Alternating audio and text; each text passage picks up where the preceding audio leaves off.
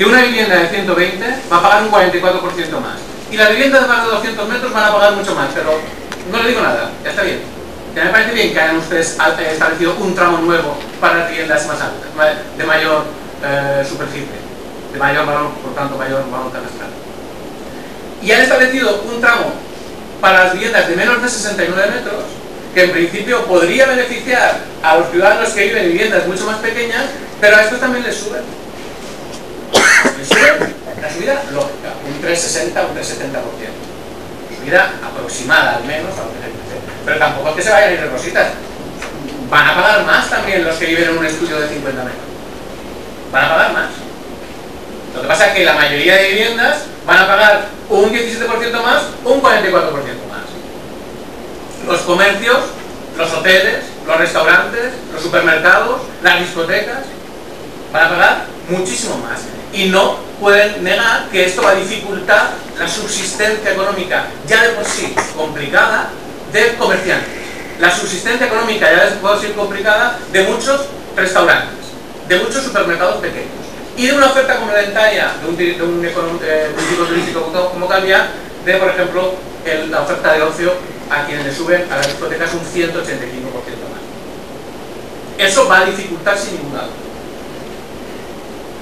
Me dicen que en otros ayuntamientos las tasas son inferiores. Miren, en Calviá, lo que es el esfuerzo fiscal que hace el, el en el año 2008 era alrededor, creo, de 1.260 o 1.280 euros por habitante. Esfuerzo fiscal año 2008. 2008. Esfuerzo fiscal año 2008 de un ciudadano de Palma estaba entre los 700 euros. De un ciudadano Marachí, unos 500 euros. En Cardiá, 1.200 y pico euros. Y además, desde el año 2008, los ciudadanos de Calvia han visto incrementado ya el esfuerzo fiscal de manera notable porque eso que ustedes venden como congelación del recibo del IBI, eso que ustedes han vendido hasta ahora como congelación del recibo del IBI, ha sido un aumento del recibo del IBI de un 15 o 20% anual. Anual. Por eso. Así así. Porque yo le puedo decir que, por ejemplo, en dos años, o en tres años, en tres años, una subida, 2008, un recibo, pagaba 228 euros de IBI, 2011 322, sube 94 euros, es un 41%, un 15% y pico, y es un recibo cogido así, ¿eh? hay otro, hay otro, 2008, 2009, 2010, en tres años, un 45%. Y hablamos de valores catastrales pequeñitos, ¿eh? no estoy haciendo demagogia, como ustedes dicen, no le estoy trayendo aquí el incremento porcentual de una gran vivienda. ¿eh? No, no, no. Valor catastral es pequeñito. ¿eh? Esto es lo que ustedes han vendido hasta el día de hoy como congelación del IBI. Los ciudadanos saben perfectamente que no les habían congelado el IBI, que han tenido que pagar cada año un 15, un 17, un 20% más cada año respecto de la IBI. Por lo tanto, si en el 2008 teníamos la mayor la, mayor presión fiscal, si los caballeros hacíamos el mayor esfuerzo fiscal de Baleares, con las actualizaciones que ustedes llamaban congelaciones, las subidas que ustedes llamaban congelaciones de IBI, se ha incrementado ese esfuerzo fiscal y se ha incrementado el diferencial del esfuerzo fiscal con el resto de, eh, ciudadanos de Baleares. Hoy mismo el diario Baleares habla también de que Calviá es el municipio con una presión fiscal por habitante más elevada. En relación a su Producto Interior Bruto, el 32,27%. No hay ningún municipio de Baleares que esté en esos valores. Ninguno. Por lo tanto, si ya somos los que más pagamos, si ahora ustedes traen subidas de tasas de basuras como estas, absolutamente desproporcionadas, ustedes traen subidas en los refuerzos educativos, que antes no pagaban, ustedes traen subidas en los eh, servicios deportivos, del 20 y del 10% y otro tipo de subidas, vamos a seguir siendo los que más pagamos, pero vamos a pagar más por menos. Vamos a pagar más por menos. Porque mejoras de servicio. Con todo esto, alguna iniciativa de este equipo de gobierno en cinco meses dirigida exclusivamente a la mejora de la calidad de vida de los ciudadanos, aún no la conocemos. De momento, lo único que sabemos es que nos va a costar muchísimo más vivir en calidad y si alguna cosa puede ir bien es que mantendremos algunos servicios, pero otros se van a deteriorar o vamos a empezar a pagar por ellos cuando antes no lo pagábamos. Y en momentos de dificultad, es igual lo que el otro día me decía la señora Catalá con el tema de los reportes educativos, que al fin y al cabo es demagogia porque son 5 euros, son 10 euros al mes, pero es que como ustedes saben perfectamente que algo que era gratuito, en el momento que hay una ordenanza y va vía subvención, aquellas familias que tienen dificultades económicas, que lo están pasando muy mal y que desgraciadamente no pueden hacer frente con algún pago de este ayuntamiento, no tienen derecho a, esa subvención y por lo tanto les están quitando el derecho a recibir ese refuerzo educativo porque tendría que pagar 80 euros al mes.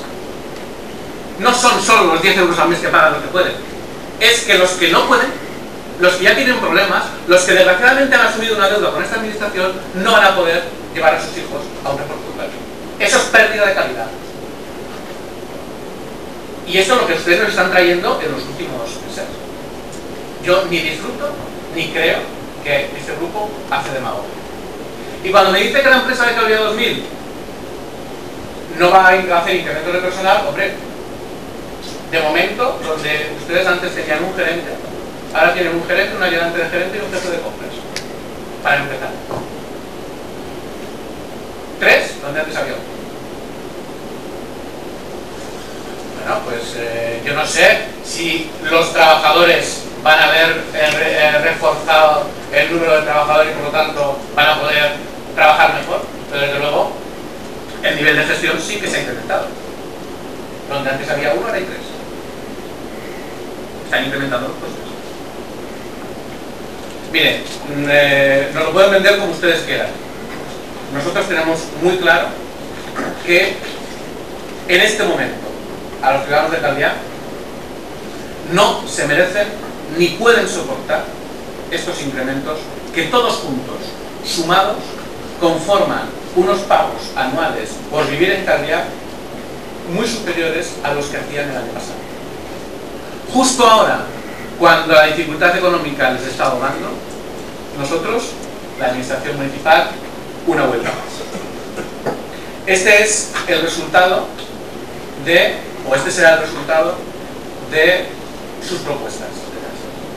Una familia normal, una familia normal, cuatro miembros, una casa normal, dos actividades deportivas, dos de los cuatro y un refuerzo educativo, va a pagar el 38% más este año que la empresa. Solo por basura, deportes y eh, refuerzo. Y a lo mejor ustedes piensan que, bueno, que tampoco hay demasiada diferencia, pero que una familia pague 730 euros al año o pague 1015, pues son 300 y pico euros más prácticamente que va a pagar al año. 1.300 y pico de aquí, más lo que pasará con el impuesto de bienes inmuebles, que desconocemos, no sabemos cuáles son. De momento no han traído aquí al pleno de tasas ninguna variación de la tasa del impuesto de bienes inmuebles. Yo espero y deseo que se cumpla con lo prometido espero y deseo que se cumpla con lo prometido. Y que los ciudadanos no paguen ni un euro más. Pero que no, vuelva, no volvamos a la legislatura de los engaños en la congelación del IVA. Espero y deseo que no sea así. Ojalá no sea así, que ustedes nos traigan la noticia de que realmente los ciudadanos no van a haber incrementado el recibo, el importe del recibo anual del IVA.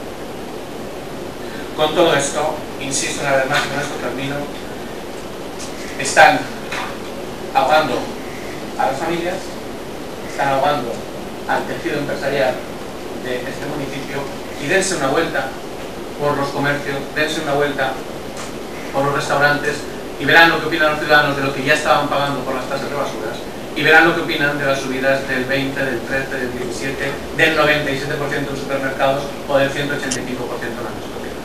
Verán si les pueden explicar que se ajusta a lo que cuesta realmente recoger. Porque el ciudadano, con un criterio no se lo puede hacer. Gracias, señor Díaz.